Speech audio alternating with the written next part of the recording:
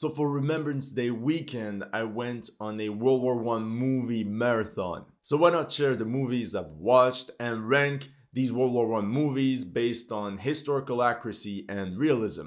That way you don't have to waste your time watching crappy depictions of the Great War. So the ranking, how it works. S is the best, then you have A, B, C, and D. D, let's put it simple. All the movies I'll put in D will have to be collected by the trash truck because I truly believe movies can actually combine realism and entertainment. Mostly because some movies actually manage to do this. The other reason I'm doing this video is because after my reaction to Netflix's movie All Quiet on the Western Front, some people say that I don't like any movie, I'm too critical. But after talking to these people, a lot of them have never seen other World War I movies apart from All Quiet on the Western Front and 1917 and admitted that they haven't read any World War I memoirs from actual veterans. To me, it's like if somebody tries their first burger at McDonald's and then they say, Oh my god, it's so amazing. McDonald's has the best burger. Alright, guys, guys, let me walk you through the best burgers in town. The Wagyu, the Kobe beef of war movies. All the movies I'll talk about will be in the description below. A disclaimer, there might be spoilers. In the next video I'll make a ranking with only World War I aviation movies with the help of Aviation Dad. This video might be a bit long, 30 movies long, but I hope that at least some of them will hit all the right spots. Are you ready? Let's go! Alright, number one, Wooden Crosses, Les Croix de Bois from 1932. This one, I'll put it in the S category right away, no questions asked.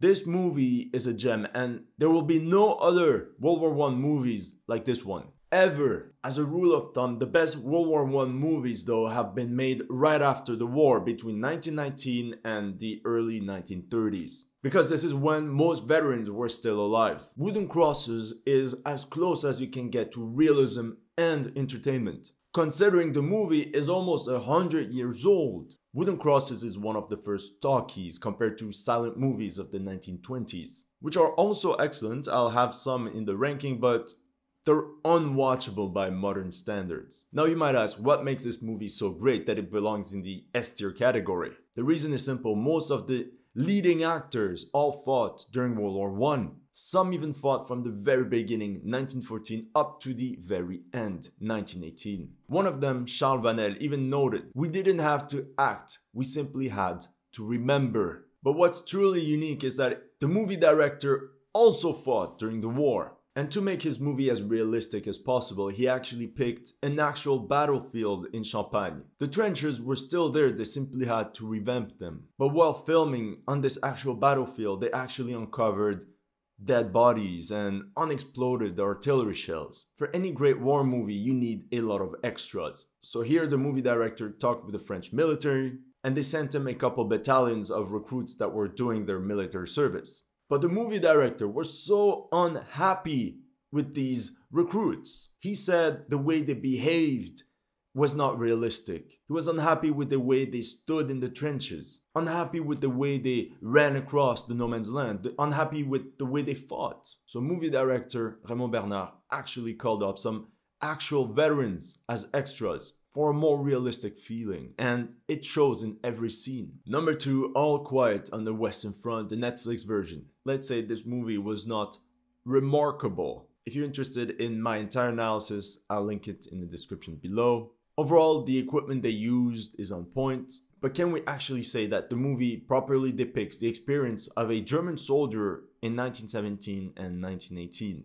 To me, it's a no. That's why I'm gonna put it in the C category. It doesn't belong to the trash, but also let me know in the comment section if you agree with this ranking or not. Alright, now we move on to Blizzards of Soul, a Latvian movie from 2019. I also made a reaction to it, I'll be in the description below.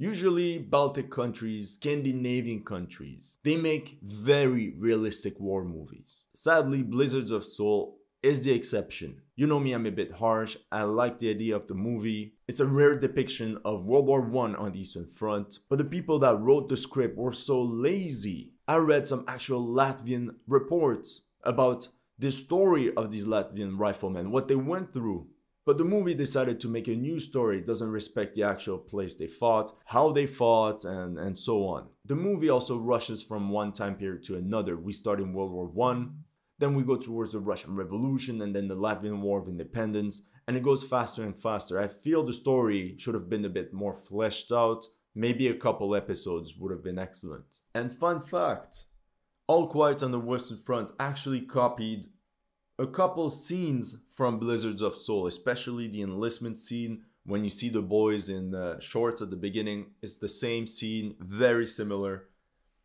And that's why I'll put it in the C category. Movie number four is is called Sajjan Singh Rangroot, an Indian movie from 2018. Honestly, it's one of the funniest war movies I've ever watched. Just honestly watch it just for the the laws. It's so anachronistic. The only thing that's accurate is that Indians participated during World War One.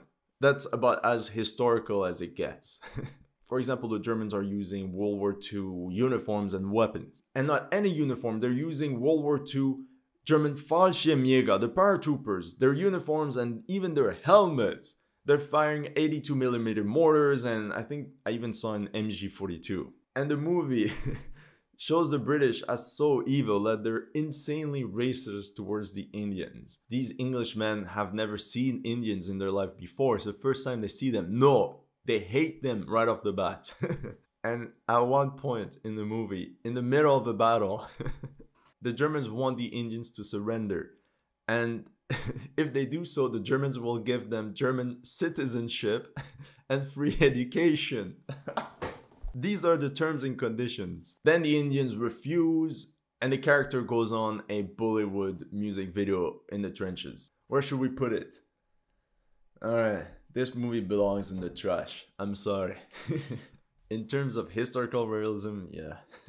How about we go back to reality? Westfront 1918, a German movie from 1930. Fun fact, it was released seven months before the American made All Quiet on the Western Front, and it was inspired by a German novel called Vier von der Infanterie. It's an even more tragic depiction as All Quiet on the Western Front. At one point, you have one of the soldiers that that is allowed to go back home, and he simply cannot relate to his family anymore. His mom won't even leave the food stamp queue to greet him, and when he goes home, he finds his wife in bed with another man. And if we talk about combat realism, this movie is a very good depiction of the late war 1918 combat, compared to Les Croix de Bois, which is set in 1915. For example, one scene is very tragic. The German artillery mistakenly fires on its own trenches, and you have a bunch of German soldiers dying from friendly fire. And they only stop by the time that a messenger goes back to the rear to tell them to cancel the, the, the artillery fire. And like I mentioned in my All Quiet on the Western Front reaction, the movie shows exactly how the French infantry would attack, how they would storm German trenches, especially with the use of their new tanks. There is no hand to hand fighting, fighting with shovels, and all this. The soldiers get to the trenches and simply flood it with grenades. Fun fact, a lot of World War I soldiers have never fired the rifle. So, where do we rank West Front 1918? Honestly, belongs to the S tier. Yeah. La première question que je voudrais poser, si vous le permettez, c'est à nos invités ici, les anciens combattants de 14-18, qu'ils soient allemands ou français. Après les images que nous venons de voir, je voudrais savoir quel est leur sentiment 50 ans après, lorsqu'ils ont vu ces images sur le front sur le front sur lequel ils ont combattu pendant quatre ans. Et je voudrais demander d'abord à M. Kronfeld, qui fut lieutenant, lieutenant de la garde prussienne, de nous dire ce qu'il a ressenti et ce que vous ressentez maintenant, puisque j'ai vu tout à l'heure, vous étiez euh, très, très émotionné. J'étais en effet très émotionné parce que le film est vrai. Il est même trop vrai et pourtant ne pas encore un centième de ce qui était. Since we're talking about a movie inspired by a book, I highly recommend you my book, The Great Veterans Project. It has hundreds of war stories, among them 50 forgotten World War I first-hand accounts from dozens of countries. And I'm telling you, they're some of the craziest stories I've ever read. And because of these untold stories, I'm also very critical to war movies that always redo the same thing over and over. Stocks are almost empty, so if you want it by Christmas, order now. Link in the description below. Next up, 1917. I know a lot of you love this movie. I also made a reaction to 1917. It's actually one of the first videos on History Legends ever. I went to the movie theaters with my friends to watch the movie and it was amazing. The visuals, the soundtrack, the costume department did a great job. It's just that I think it's more of a thriller set during World War One than a World War One movie. In my opinion, 1917 is just very far away from what British soldiers would have actually experienced. My first video ever on History Legends was about the Canadian attack on Vimy Ridge. I read through so much material, so many reports about the Canadian attack, very detailed reports, that it completely changed my mind about how World War I was fought. What's ridiculous in the movie is how come in 1917, a British battalion just attacks the Germans on his own, without artillery, without support, without logistics, just like that. It's so unrealistic. And the cherry on top is how they show modern UK demographics in a World War I movie. You have black soldiers, Indian soldiers, and they're all mixed up together. All the Indians speak perfect English. You know, I'm laughing at the Indian movie we just reviewed, but at least in the movie, only the commanders speak English. The Indian soldiers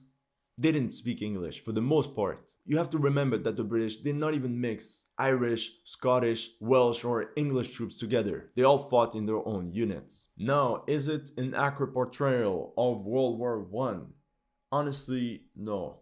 I, it's with the Indian movie. It's not as bad, so I'll put it in front of the Indian movie. Can I do it? Yeah. In my opinion, the story of 1917 could have been much better. Had it been inspired by a British movie called Journey's End, all they had to do was to take inspiration from good movies of the past and just make it better with modern technology. But that's too much to ask for. Talking about that movie, Journey's End 1930. It takes place in 1918, right before the German Spring Offensive. They know that something is up, that the Germans are about to do something, but they're not sure what. So they send patrols, they send raids to capture prisoners, to see what they have to say. It's a great movie because you have the British humor. For example, you have two guys looking over the trenches and they're smiling, they're joking around. They say, Oh, what a beautiful sight. Oh, yeah, it's very lovely. Modern movies are also grim and dark and gore, but they forget the friendship and the joking around that took place. But also like the realism of the few combat scenes. How they go on a patrol and how all the soldiers, you see the fear, they're all clumped up together, they try to take cover. And unlike what most modern movies show of frontal attacks where everybody dies, patrols and raids were also very bloody. And interestingly enough, in the movie, they never talk about the mud or stuff like that. Okay, so where is it? Okay, it's here. I'm gonna put it in the S tier as well and this is another criticism I have for modern World War I movies, they're always set in the mud. No, no. A lot of times, most offensives during World War I were done in the summer exactly for that reason. No mud. It's the same thing in Ukraine today. Alright, next movie, Path of Glory, 1957.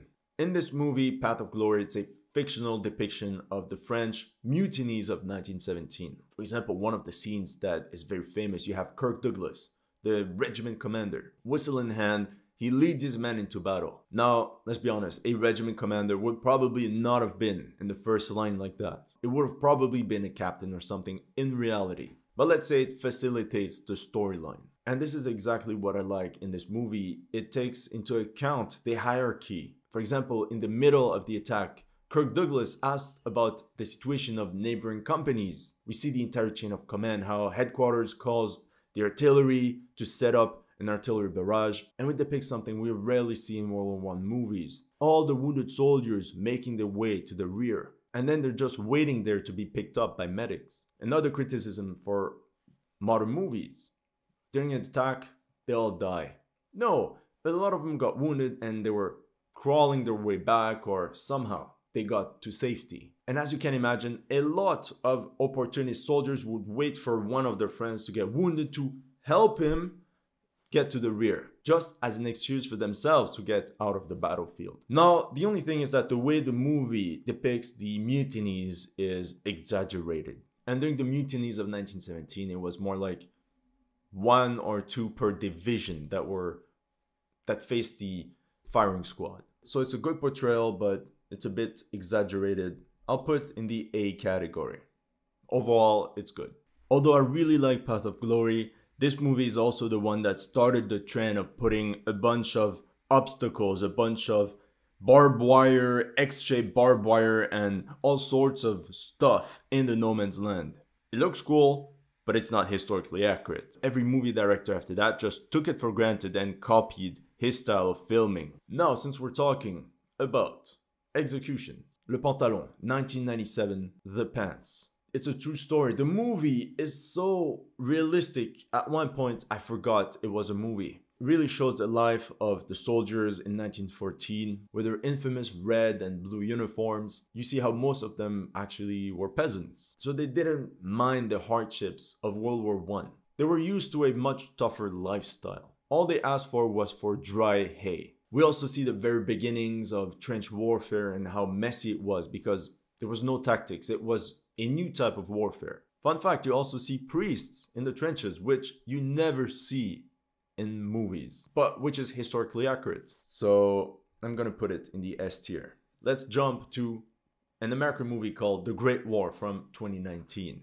Okay, you know what? I'll, tell you right away. It belongs to the trash. Oh my god, honestly, it's one of the worst movies I've ever watched. And not just from a historical perspective, but, but just from a movie perspective. It's so bad. The movie's cringe, horrible script, horrible actors. It completely skips the fact that the Buffalo Soldiers fought with the French in French equipment. Now, in this version is some silly racism, but they still fight side by side with white Americans. And of course, there's this BLM racism theme that keeps coming back. And the battle scenes are so bad, like there's not even trenches. You just see two lines of soldiers firing at each other, standing five meters from each other. Yeah, a very long engagement 2004. This movie is very famous for its cinematography, for the aesthetics of the movie. So much that almost every World War I movie after this one copied a very long engagement. What I like in this movie is that it properly shows you the daily life of French soldiers in 1917. You see every aspect of the life in the trenches. Now, the main thing that is inaccurate, as always, is the combat scenes. It starts with your typical evil captain. The French troops in the trenches are getting pummeled by German artillery. It's always in the mud. The captain comes out and says, Yeah, the Germans are bleeding us to death. We have to attack now. It doesn't even make sense. The trench is the safest place where you can put your men. By going outside, they're all gonna die.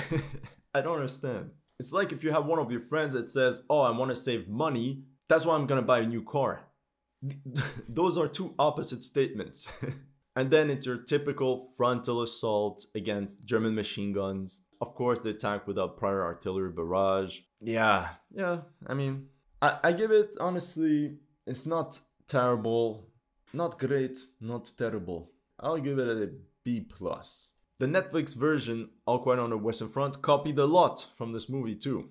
Okay, talking about All Quiet on the Western Front the 1930 version and the 1979 version. I'll put them together. They deserve the grade A. These two movies really depict what was World War I like as a German soldier. You really get the feeling that being at the front was only part of your life as a soldier. As a matter of fact, most soldiers during World War I would only spend one week a month in the front, facing the enemy. In Wooden Crosses, there's this scene where they actually do this rotation and in both these movies, you actually get the sense of brotherhood that these soldiers could have experienced. All right, up next, Capitaine Conan, 1996. Another French movie. As you can imagine, World War I for the French is their great patriotic war. The French prefer to make World War I movies compared to World War II movies, and you probably know why. Captain Conan is a great movie because it talks about a forgotten front of World War I. It takes place in 1918 in the Balkans, and you see the last French offensive of the war there, which made Turkey collapse, Bulgaria collapse, liberated Serbia, and then made Austria Hungary collapse. And these French soldiers, after winning the battle in the Balkans, they end up in Romania and then they want to go back home. But the French command is like, nah, you have to fight the Bolsheviks now. But yeah, the movie is really great because it focuses on trench clearers, how a couple thousands of men did the dirty work. It's like the equivalent of German Stoßtruppen, but the French version. They use any tool available to them. Honestly, I think this movie is great if you want to learn about a new part of World War One, a new front. I'll put it in the S tier. I'll put it at the end of the S tier. Passchendaele, 2008. It's the best Canadian war movie ever made. But that's not a hard title to get because Canadian war movies suck. It, they're so bad. I'm ashamed. Compared to that, the Australians, to my Aussie friends, you guys are one step ahead of Canada. The only problem is that half the movie is set on the home front in Alberta with some cheesy Canadian love story. Now, when we go back to France, in the front, I like how we talk about the organization of a battalion. It clearly talks about what objectives they were meant to capture. And overall, it shows this operational side of World War I that is often missing. Also, the landscape in the movie is identical to what the Canadians would have faced at Passchendaele. However, you know the drill, the combat scenes, disappointing. Let's say that the Great Battle of Passchendaele is depicted as a tug of war in the mud, where the Canadians are actually defending against some fat German NPCs. Zero tactical skills. The people are strangling each other, they're taking knives, machete, I don't know, shovels. I told you, you can read the reports of these men on the ground. You can read this book. Hand to hand fighting was extremely rare. Alright, you know, it's not bad, it's not terrible. I'll put it in B. Movie number 15, Ceux de 14, Those of 1914. This miniseries is inspired by the memoirs of a French soldier, a lieutenant called Maurice Genevoix. Fun fact, Maurice Genevoix and Ernst Jünger from Storm of Steel actually faced each other in 1915. Despite the restricted budget, I think the miniseries did a great job. They're very accurate in their portrayal of combat in 1915 the way Maurice Genevoix experienced it, with small company assaults, bad coordination with artillery, and rudimentary trenches. Here, let's put it as an A+, plus, like high-end A. Next in line, Warhorse. I also made an entire reaction about it in the comment section below. Aviation Dad looks like Benedict Cumberbatch. Like they have the same face. But what was disappointing in Warhorse is that with everything we know about the true story behind it, they decided to make shit up. That cavalry charge against the German camp does not make any sense, historically speaking. Now the attack at the end is okay and I'll take it. It's not too bad, although it could be in the category with C because of the cavalry charge. Okay, now a movie that you probably never heard about. Mons, a silent movie from 1926. It depicts the great 1914 Battle of Mons. And to give this sense of scale for the battle, the movie director recruited extras from the 1st Wiltshire Regiment. But let's say that their acting skills are comparable to your average infantryman's acting skills. The reason I put it right after Warhorse is that in Mons, it actually depicts the actual scene of the cavalry charge that should have been in Warhorse. And we clearly see that cavalry was more like mounted infantry. You see the British infantry in a huge field firing from a prone position, or if they can, they would use the cover of terrain or buildings. And what's interesting is that the newspapers reviewing the movie at the time said the movie portrays the battle as accurately as could be reproduced. And they all said that Mons was the finest motion picture of World War. I. I would say it's a low end S, like S minus. Okay, let's talk about the TV series Anzacs from 1985. And it shows the experience and the daily life of Australian soldiers from Gallipoli up to the Western Front. This is one of the most accurate portrayals of the daily life of soldiers during World War One. However, there's a lack of budget regarding battle scenes. They're always downgraded, they look kind of silly. C category because of the combat scenes. Like it's a C plus, honestly. It's a C plus. Okay, is it worse than War Horse? That's the question. Hold on. The ranking is interesting because once you position them, you can compare. It's hard to say, but it, War Horse is still better, despite my criticism. Now let's talk about Gallipoli, a 2015 Australian TV series. They also face some budget limitations, but it's excellent. You see how the Anzac Corps disembarks in the early days of Gallipoli and how the units are lost in the mountains. They have no way to contact headquarters down below, so they have to send runners back and forth. And by the time the runner comes, the situation has changed. They have to send another runner. The runners get shot at. Anyway, it was a mess. I even think that in one of the scenes, the Australians were taught to fire only at the order of their CO. So it was really like a century before where they're like, okay, fire one round, fire two rounds. They quickly abandoned this. But my favorite part of the entire series is how they portray the battle of the Nek. It's exactly how it happened. They I think they portrayed the battle at the same time scale, the same minutes that it took for the battle to to be.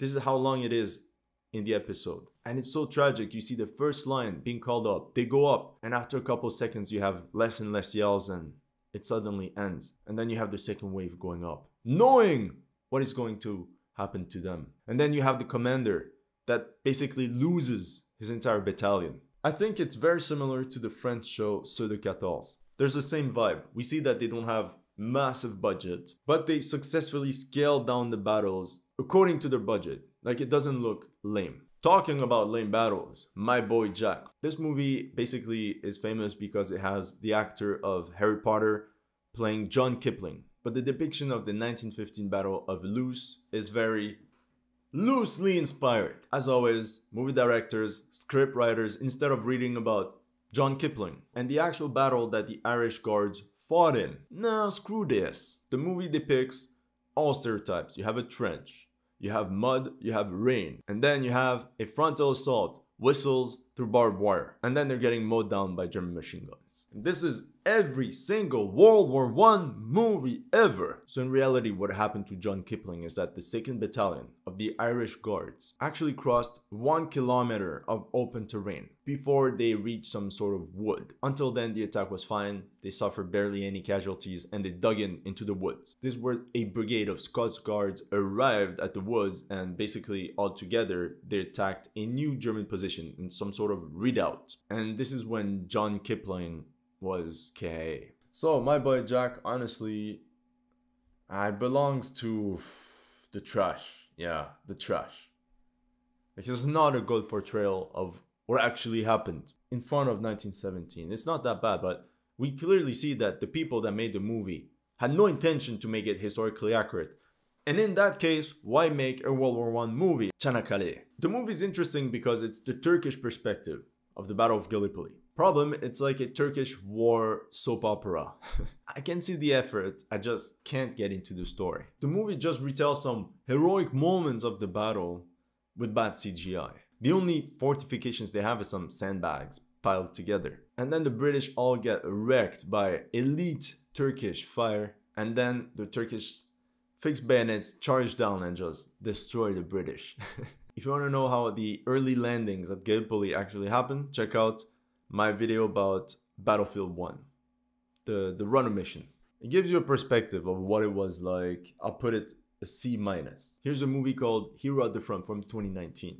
The Forgotten Portuguese Expeditionary Corps. The main problem for me is that the movie is clearly filmed in Portugal. The movie is supposed to take place in northern France, and because of that, it's impossible to really get into the movie. World War I is fought in some desertic landscape, and the combat scenes are full of CGI the, the guns have no recoil whatsoever. There's no tactics. We don't even know how the Portuguese soldiers trained for World War One. The Portuguese are just expert fighters. They're better than the Germans that fought since 1914. So this movie is like the equivalent of Çanakkale. It's only interesting because the topic it covers is rare. Up next, The Lost Battalion 2001.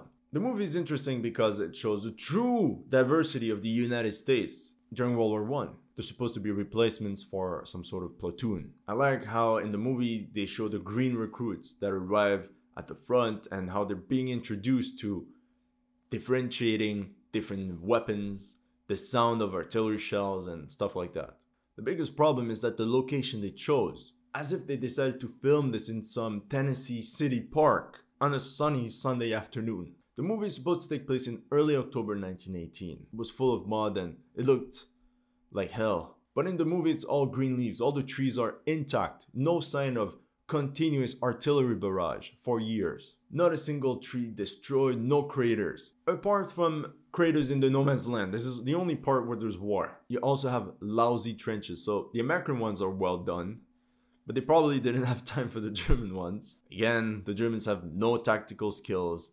All the fighting takes place within 5 meters of a gun. So the Lost Battalion, let's put it in the C range. Like, not that bad, but. The March on the Drina, 1964. It's a brilliant Yugoslav movie. It's a true immersion of World War I as seen by Serbia, more specifically about the Battle of Mount Cer in 1914. They didn't have CGI at the time, and the Yugoslavs were known to have thousands of extras available. They actually fire with their artillery. The real explosives is exceptional because they filmed it at the actual location of the battle, which is more realistic considering the range of their rifles. You can see the horses carrying the artillery. The mood is joyful, they're happy. All of a sudden, it rains, and all the cannons are stuck on the muddy roads. And then you have the artillerymen that have to push to the mud, and it's much less fun all of a sudden. Not like your typical World War One movie where it's always rain and mud, and you don't compare it with times where it's not mud. Overall, I think it's a very good portrayal, at least for that period of the war for Serbia, I'll put it as an A.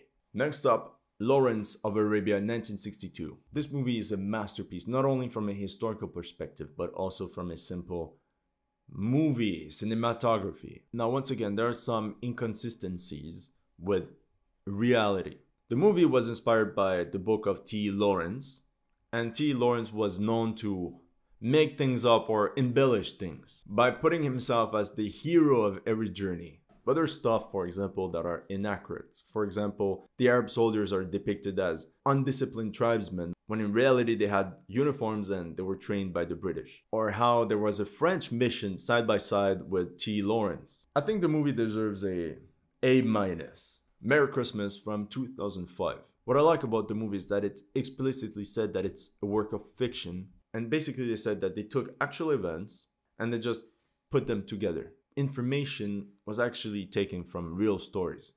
It's just not one true story. But I like the effort. I like the effort, and with the little budget they have, they did a good job. Fun fact there's Daniel Brühl in this movie, and he's also in All Quiet on the Western Front, the Netflix version. He carries every movie, honestly. Great actor. All right, I'll put it an A. Then we have an Italian movie, Uomini Contro from 1970. This movie was criticized at the time for being very leftist and anti-war. And it's a bit cartoonish in the way that you have evil officers that don't care about their men's life and the body of proletariat going to die. That's not known to many, but Italy, despite starting the war one year after everybody else, have executed more of their own men than all the other countries. Over 1,000 were officially executed. And the movie clearly shows that the commanders were maybe patriotic but had zero tactical strategic skills and they just launched one attack after the other. And if it failed, it was because of the soldiers and their lack of spirit in battle. There's some parts where I'm like, okay, it might not have happened like that. And once again, we talk about a front that is rarely talked about in the mainstream media, the Alpine Front during World War One against Austria-Hungary. All right, so where do I place it? You know what? I'll put it as B plus. I say B plus, but as you know, B plus, A minus, they're very close to each other, so it could. It's very similar to the other movies from the 1960s. Then we have another French movie called See You Up There from 2017. In my opinion, this movie also inspired Netflix's All Quiet on the Western Front. You have this cartoonish captain that is purely evil. He hates the men he commands. And on the last day of the war, he sends them on one last assault for his own personal enjoyment and glory.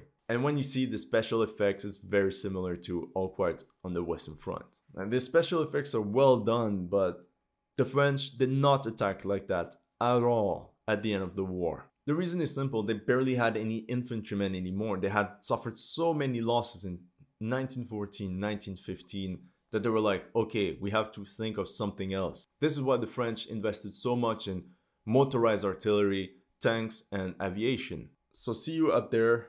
I'll put it with his brother and sister right here. Last one, Sergeant York, 1941. So the story is about Alvin York, one of the most decorated American soldiers of World War One. It's a very American movie because it's uh, talks about a tough Southerner, tough American guy, but that's also religious and who's a very good sharpshooter. And the big story is how York single-handedly captured a huge mass of German soldiers. The movie we clearly see it's filmed somewhere in California, and the Germans are very silly in the movie. I rarely say this, but this movie deserves a remake. Is it a proper portrayal of what Alvin York experienced? Is it a proper portrayal of Americans during World War One?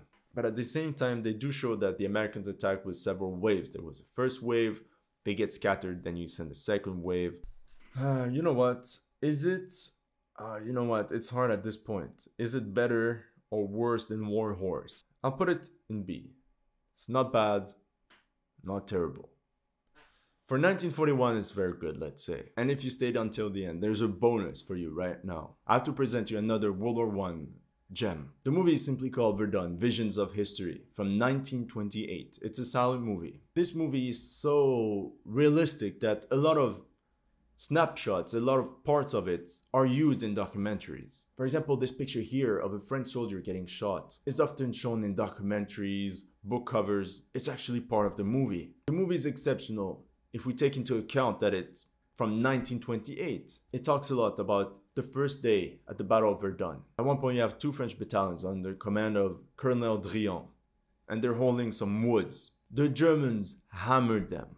80,000 shells on their positions alone. We're talking about 13 shells per square meter out of the 1,200 light infantry he had in the morning. After the bombardment, only 300 were alive. And these 300, after hours of bombardment, had to face 13,000 Bavarians. After 48 hours, only 120 were alive. A lot of the extras in the movie are French and German veterans. You even have French General Pétain playing his own role in the movie. And the main character of the story was also a veteran of World War One, but he was a pilot. Honestly, if you can watch this movie just to learn how it was, how World War One was like for the people at the time, it's very accurate in this portrayal. It's right there in the S tier. So we are finally done. So here's the final ranking. The S tier, Les Croix de Bois, Westfront 1918, Journey's End,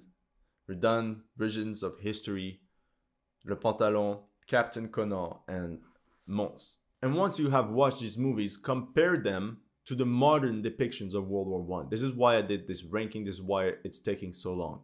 I wanted to do it once and for all. For you to understand where I come from when I review war movies. Do you agree with this ranking? If not, let me know in the comment section. Also, let me know if I've missed any movie in this ranking. If you want to support the channel and my efforts, make sure to support me on Patreon and PayPal.